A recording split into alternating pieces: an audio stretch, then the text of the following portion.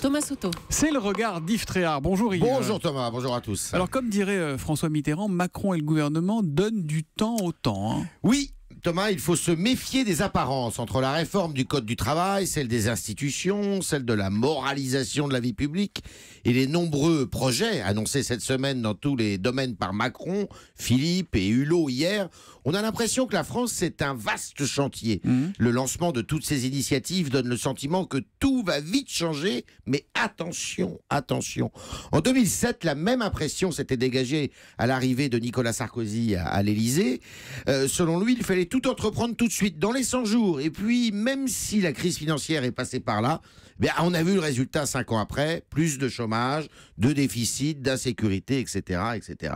Macron et son gouvernement ont ce précédent en tête, évidemment, et on sent qu'il prépare peu à peu les esprits à la patience.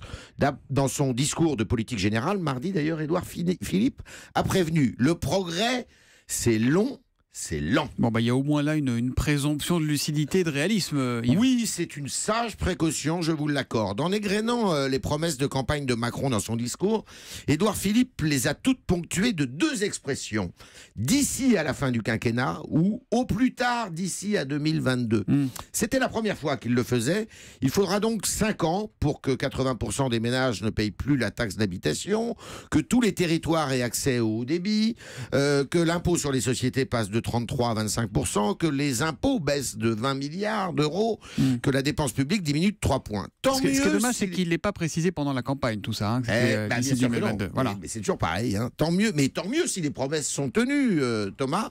Ne s'enlise pas dans d'inutiles bavardages. On peut s'inquiéter, par exemple, des multiples instances de dialogue mises en place.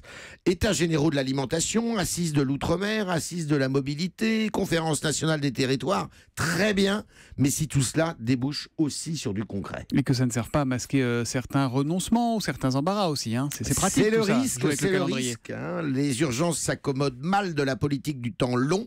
Ainsi, hier, Nicolas Hulot, en présentant son plan climat, a longuement parlé de la fin des voitures à essence pour 2040. Mhm. Très très bien, mais il n'a rien dit de concret sur l'épineux et urgent dossier des centrales nucléaires qui doivent fermer très bientôt. Et pour cause. Et pour cause, on va rester vigilant comme vous nous l'avez appris tous les matins Yves Tréhard et comme vous nous l'avez appris merci. tous les matins Nicolas merci. Barré. Merci messieurs. merci.